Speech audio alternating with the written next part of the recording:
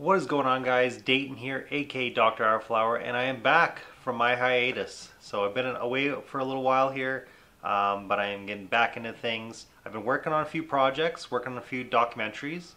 Uh, one I'm going to be releasing here right away. So a couple reasons why I've been on a hiatus for a little bit. Uh, got a new career, so I had to really focus on that for a while. And I got some pretty bad medical news for a family member, and it's kind of uh, taken a toll on my creativity. So had to take a little bit of a break, but uh, just letting you guys know everything's okay. Uh, we're getting back into things. So for you guys out there who are starting to worry a little bit, message me. I am doing okay and uh, trying to get back in the swing of things. Give me a little time, but uh, we'll get back into making some content for you guys.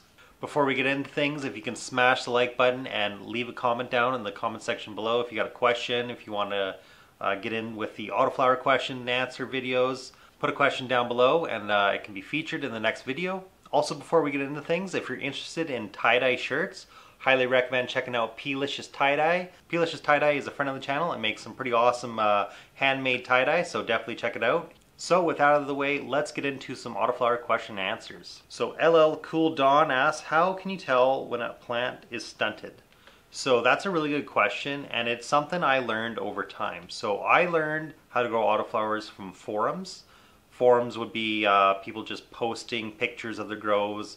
And one of the really helpful things about learning that way was people would post uh, like day one, day three, day five, and so on pics of their autoflower grows. You would see that there's a growth pattern that most autoflowers follow. So you can start seeing that like 10 days old, they should look a certain way with a certain amount of leaves. 14 days old, they should have more leaves, look a certain way day 18, they should start flowering, uh, producing pistils and stuff, be at a certain height. So obviously this is pretty good indicators when you're first getting into autoflowers and you don't know this kind of stuff. So it is definitely a good thing to go research um, because, for example, someone I worked with was telling me he was growing autoflowers and he told me he had his autoflowers in uh, Dixie cups, small cups, and they're only this tall and they're a month and a half old. So right off the bat there, I can tell from just his information he gave me that they are stunted, uh, they are root bound,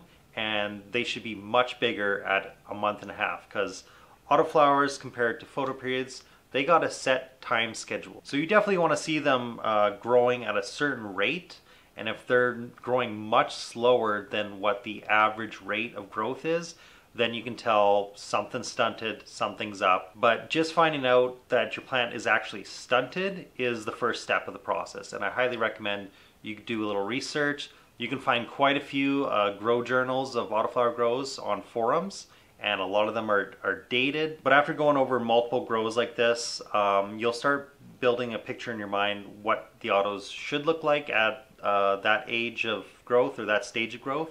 So Raul asks, I'm on week uh, 5 or 6 with my autoflowers at 12 and 12 light. Will my plants be affected if I switch to 18 hours of light? They'll actually do better, and I highly recommend if you haven't, definitely do that. For autoflowers, you can grow them at 12 hours of light and 12 hours darkness. Like you could have them with a uh, flowering photo period if you really wanted to. Will you grow as much bud as you could if it was on 18 hours of light? I don't believe so. So you will have a decreased yield. Will it be a large amount? I'm not too sure, but you definitely will have less than what you could have with growing with the proper uh, light schedule. Because autoflowers, it's all about giving them the optimal growing area with light, soil, watering, food, everything. The more optimal environment you give the plant, the better your harvest will be. Johnny West asks if he can add mirrors to his grow room. I would highly recommend do not add mirrors or tinfoil to your grow room because these can uh, actually burn your plants. The reflections from the light is actually too much, I believe. Uh, you don't want that. You want diffuse reflection. I would always recommend just getting a grow tent or using uh, Pandafilm, Mylar, or whatever. Um, that's usually your best bet. Or have a full room just dedicated and painted white. That's also really good. Cheryl asks, is 48 hours of darkness necessary for autoflowers? No, it is not necessary at all. I've never really noticed much of a difference. I've done this in the past.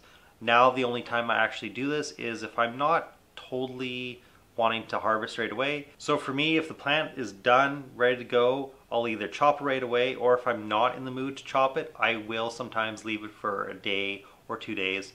Um, the only reason for me is I just don't want to chop it down right now and do all the harvesting. So that's my take on that. Some people are really strict with that and they always do it. Me, I try to keep things simple and uh, less complicated and less stressful. Moderator asks if you already added nutrients to the soil, and I'm guessing they're talking about um, organic soil amendments. Uh, do you need to add nutrients to your water when you're watering them? So if you already added your organics nutrients to your soil, then that's good. All you need to do is water at the right pH, and that's it. And depending on the nutrients you're using, you may need to amend the soil about a month or a month and a half down the road, uh, add some more nutrients on top, and uh, or mix it into the top. So top dressing feeding seems to be the only time you actually feed extra when you're using that kind of setup.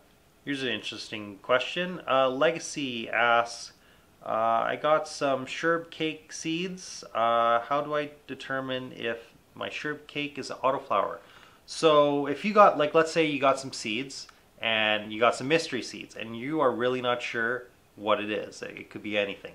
So you plant them, the plant's going, you're around day, I would say 18 to 21, three weeks. If you start seeing flowers form, either male pollen sacs or the white pistil flower hairs, and if it's showing whether it's male or female around that time of growth with 18 hours of light, then technically it should be an autoflower um, because that's when autoflowers would flower. And if it starts flowering more and more and more, then you can definitely tell it's an autoflower. If the plant just keeps getting bigger after 21 days and you don't see any male pollen sacs or female pistil white hairs coming out, then you can pretty much determine that's a photoperiod and it's not going to flower until you put it into flower.